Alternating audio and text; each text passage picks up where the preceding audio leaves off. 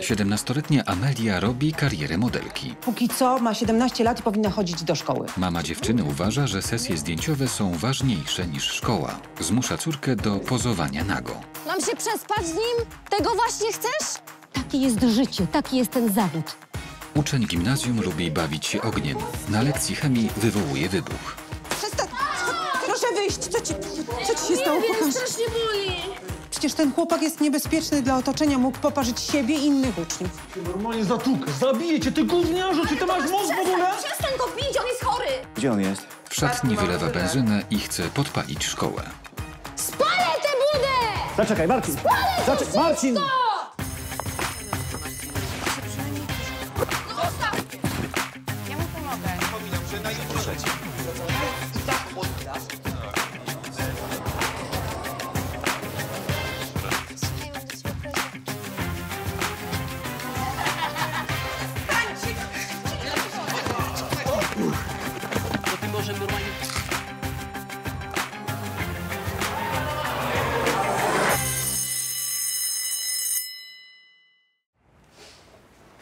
Marcin Długosz, uczeń drugiej klasy gimnazjum, jest zafascynowany ogniem. Patrzenie na płomienie uspokaja go. Chłopiec nie zdaje sobie sprawy, że jest to niebezpieczne. Niedawno na szkolnej wycieczce omal nie spalił drewnianego domku, w którym mieszkał z innymi uczniami. Zapalił ognisko tuż obok i bardzo mu się to spodobało. Kiedy ojciec chłopca dowiedział się o tym, zbił go. Mimo to gimnazjalista wciąż szuka okazji do zabawy z ogniem.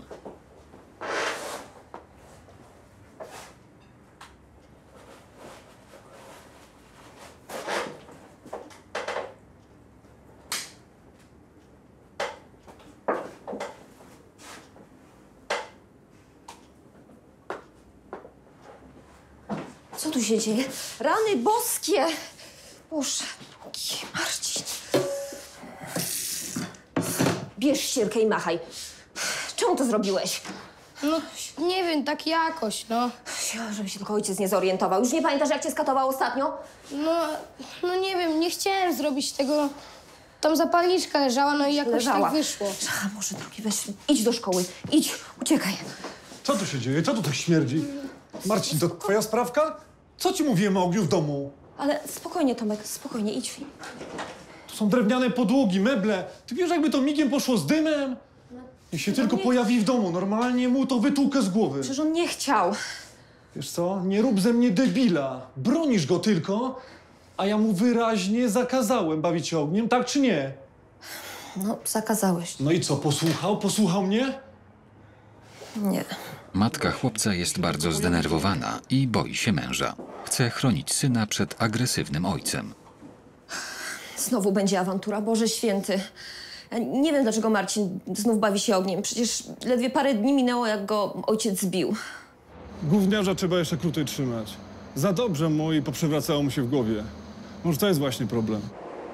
17-letnia Amelia Maćkowiak jest uczennicą drugiej klasy liceum. Dziewczyna za namową mamy kilka lat temu została modelką. Częściej bywa na sesjach fotograficznych niż w szkole. Mama bardzo kibicuje córce i planuje dla niej wielką karierę.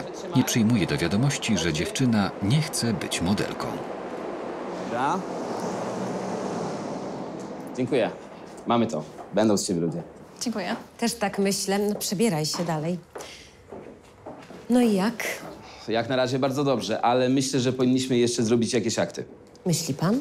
Każda modelka w swoim portfolio powinna mieć jakieś artystyczne akty. No. Bez tego się nie obejdzie taka branża.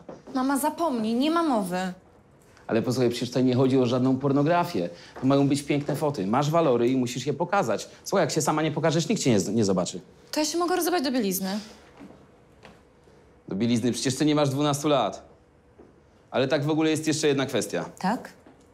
No, córka musi zrzucić tak ze 2 kg jeszcze. Posłuchaj, nie chcesz, to ja cię mogę w ogóle nie promować. Zachowuj się. Spokojnie, Amelka chce. To kiedy ewentualnie... Amelia nie chce pozować nago. Dziewczyna ma nadzieję, że pomoże jej ojciec. Mimo, że rodzice rozwiedli się kilka lat temu, Amelia ma dobry kontakt z tatą i może liczyć na jego wsparcie. Pozuję do zdjęć, bo matce na tym zależy. Ale ja nie chcę się rozbijać przy tym gościem. Kurde, przecież ja nie chcę stać przy tym oblechem goła. Córeczko, może on ma rację. Wcześniej czy później każda modelka musi zdecydować się na akty. Potraktuj to więc profesjonalnie. Nie rozbiorę się przed nim. On się na mnie tak opleśnie gapi. Oj, nie przesadzaj. Robi ci zdjęcia zupełnie za darmo. Mogłabyś okazać przynajmniej trochę wdzięczności. A poza tym kilka twoich zdjęć już sprzedał, prawda? A jak ktoś z klasy to zobaczy? Z sąsiadów? Przecież ja się spalę mamą ze wstydu. Ty myślisz, że każdy mógłby tak pozować? Nie. Masz piękne ciało. Trzeba to wykorzystać. To jest dobry pomysł. Zaufaj mi. Tata na pewno się nie zgodzi. Oj, zgodzi się, zgodzi. Wytłumaczę. A gdzie teraz idziemy? No gdzie? Do szkoły. Muszę usprawiedliwić ci tą nieobecność na pierwszej lekcji, żeby znowu nie robili problemów. Córeczko, masz olbrzymią szansę. Ja takiej nigdy nie miałam.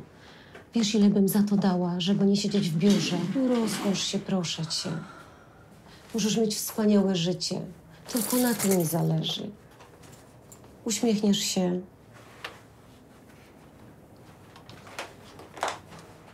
Ty chyba faktycznie ostatnio trochę przytyłaś. Przecież ja nic nie jem. Mam głodować?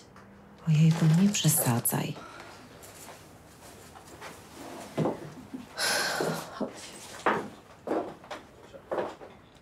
Ja już tak jestem ciągle głodna. Masakra. Mam jeść jeszcze mniej? Ja już chyba nie chcę być modelką. 15-letni Marcin Długosz, uczeń gimnazjalnej drugiej C, jest już w szkole. W szatni spotyka kolegę z klasy, Damiana Drewnika, którego bardzo lubi. Dziś czeka ich klasówka z polskiego i Damian jest tym bardzo zdenerwowany. Chciałby uniknąć sprawdzianu. Że ja nie piszę żadnej z tej głupich kartkówek od polskiego. A nic nie umiesz? O kurde, coś tam kułem, nie no, ale ja pierdzielę. Pff, Może byśmy coś wymyślili, nie wiem, może zrobilibyśmy jakiś alarm bombowy na polskim, czy coś tego typu. Niby, że spoko pomysł, ale jak to zrobić? Już sam nie wiem, stary. Może byś zadzwonił, że jest bomba w szkole. Nie, przyzwyczaj mnie po numerze. No to dawaj, zwiniemy komuś telefon. Nie bądź. No ale to też się wyda. O, to masz jakieś inne pomysły?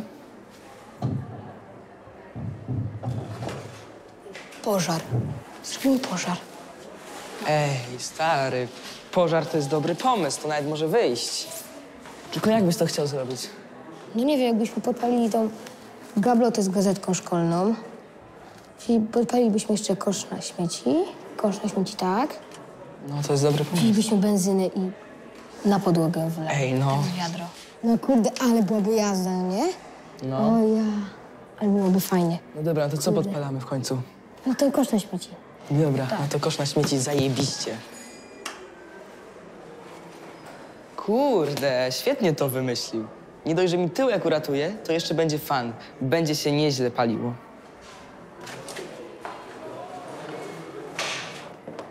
Chłopcy zamierzają podpalić w szkole kosz na śmieci. Dla Damiana to sposób na uniknięcie klasówki z polskiego. Chłopak nie wie, że Marcin jest piromanem i cieszy się na samą myśl, że zobaczy płomienie. Ej, ale słuchaj, stary, wiesz, to musi chwilę potrwać, żeby był chaos i żeby żaba nie robiła już więcej tych swoich głupich kartkówek. Wiem, wiem. Ile do dzwonka? Mniej niż minuta. Spoko. Idź zobacz, czy nikogo nie ma. Dobra, nikt nie patrzy, możesz podpalać. Piętnastolatek bez wahania podpala kosz na szkolnym korytarzu. Wie, że jeśli wszystko się wyda, będzie miał poważne kłopoty w szkole i w domu. Ojciec mu tego nie daruje. Jednak chęć podpalenia jest silniejsza. Co się tutaj dzieje? Odsunąć się! Proszę, wszyscy! Palić się, palić się, musimy ewakuować szkołę, uciekajmy! Siać panikę, odsuń się do Ale ja się duszę! Uspokój się! Pomóż mi, Jadzi. Puśćcie mnie, puśćcie mnie! Hej, hej, hej! hej. Dobra, dawaj to. Zawleczka, prędko! Puść, odejdźcie, odejdźcie, odsuńcie się. Odsunąć się, odsunąć się! Odsunąć się do wyjścia, proszę! Opuszczamy szkołę! Opuszczamy szkołę! Odwróć się! Otwórz drzwi, Michał, tam! Szybciej, nie rozglądaj Otwórz, otwórz te drzwi, otwórz. Wychodzimy. Wychodzimy, wychodzimy. Ale jaja, normalnie zajebiście nam to wyszło. Żaba jest tak podenerwowana, że nie ma mowy o żadnej kartkówce. I co? Nie, no, zwariować można. Po Pożar udało się ugasić i nikomu nic złego się nie stało. Jednak nauczyciele są zdenerwowani i domyślają się, kto dokonał podpalenia. Informatyk Piotr Gądek, wychowawca klasy gimnazjalnej drugiej C, lubi Marcina i uważa, że jest rozsądnym chłopcem. Mimo to podejrzewa, że uczeń może być sprawcą pożaru. Miała być jakaś kartkówka, klasówka? Było coś takiego? No u mnie druga C. Druga C, a był tam Marcin Długosz? Był. No miałam z nimi polski, ale on akurat ma bardzo dobre oceny. Po co miałby to robić? Być może jest y, piromanem. Proszę cię. no. Dajcie spokój. To mogło być wygłupy. Ostatnio na wycieczce szkolnej rozpalił gigantyczne ognisko przy drewnianym domku. W domku była ósemka dzieci. Nie zastanawiał się, nie pomyślał. To jeszcze dzieciuk przecież. Nie wydaje mi się. Jak się tłumaczył? No właśnie, że wygłupy, no. Ja mówiłem, że wygłupy. Ale to jest rozsądny chłopak. Takie wygłupy naprawdę nie są w jego stylu. Rozsądny i bardzo fajny. Rośnie i zmienia mu się poczucie humoru. Nie mamy dowodów i nie możemy go piętnować za to. Dobra, słuchajcie, ja jeszcze z nim porozmawiam. Musimy go obserwować, mieć go pod kontrolą, ale nie róbmy z niego piromana, póki nie mamy solidnych dowodów. Spokojnie. Po prostu z nim porozmawiam. Tymczasem licealistka Amelia Maćkowiak idzie do szkoły. Spóźniła się na pierwszą lekcję, ponieważ była na sesji zdjęciowej. Jej mama postanowiła osobiście usprawiedliwić córkę. Kobieta wie, że nauczyciele nie są zadowoleni z częstych nieobecności dziewczyny. Yy, dobrze, to gdzie znajdę tą panią Stańko? W pokoju nauczycielskim. Aha, dobrze, dziękujemy. Proszę bardzo. Mamo, ja już bym wolała normalnie chodzić do szkoły. Kochanie, ja też bym wolała i też bym tak chciała, ale sama dobrze wiesz, że nie zawsze się tak da. Wiesz, ile będę musiała nadrabiać? Ojejku, korona ci z głowy nie spadnie. A może kiedyś chciałabym się spotkać z koleżankami? Koleżanki, koleżanki też poczekają. Kochanie, teraz mamy ważniejsze sprawy, dobrze o tym wiesz.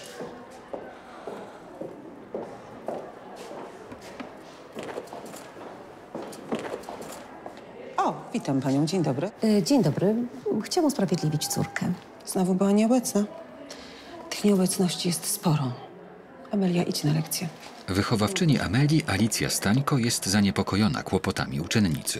Ma nadzieję, że rozmowa z mamą dziewczyny uświadomi jej, że Amelia może nie zdać do następnej klasy, jeśli nie nadrobi zaległości. Zdolna i chętnie się uczy, yy, tylko ostatnio, no rozumie pani, no nie zawsze ma czas. Z tego co wiem, to Amelia ma poważne kłopoty z ocenami. Wiem to od moich kolegów. Bo albo nie chodzi do szkoły, albo jest nieprzygotowana. Jola, masz dzisiaj Amelię na lekcji. No, świetnie, to miła odmiana. No nie przesadzajmy. Amelia nigdy nie miała problemów z nauką i myślę, że możemy jej zaufać. Ona z pewnością nadrobi wszystkie zaległości. Powiem wyraźnie. Albo Amelia zacznie regularnie chodzić do szkoły i weźmie się za naukę, albo tą sprawą zajmie się Rada Pedagogiczna. Pani chyba nie rozumie. Nie, to pani nie rozumie, proszę pani. Ja rozumiem, że Amelia rozwija się jako modelka, ale póki co ma 17 lat i powinna chodzić do szkoły. Czy pani czasem nie przesadza? Nie, nie przesadzam. Tak. Szkoła, szkoła, szkoła. Czy pani nie widzi, że są też rzeczy ważniejsze? Pani jednak nie chce, żeby Amelia skończyła liceum. Skończy do cholery, jeśli nie będziecie jej tego utrudniać. Jeśli będzie chodziła regularnie do szkoły i znała minimum materiału. No tak, ale to nie zawsze jest możliwe. W takim razie my nie możemy przepuścić jej do klasy maturalnej. No nie. Nie będzie mi pani mówiła, jak ma wyglądać życie moje czy mojej córki. Amelia ma przed sobą wyjątkową karierę. I pani jej tego nie zabierze. Do widzenia. Ale ja nie żartowałam, proszę pani. Ja też nie żartowałam. Do widzenia. Nauczycielki cenią tylko kujony, a moja córka ma karierę przed sobą. I żadna nauczycielka nie będzie jej stała na drodze. Nie no, tupet tej kobiety jest nieprawdopodobny. Ona kompletnie nie rozumie, że Amelia jest zagrożona, czyli nie uda jej się przejść do klasy maturalnej. Ja rozumiem zabawę w modelkę, świetnie, ale szkoła też jest ważna. A co jeśli kariera nie wyjdzie? Czy matka o tym pomyślała?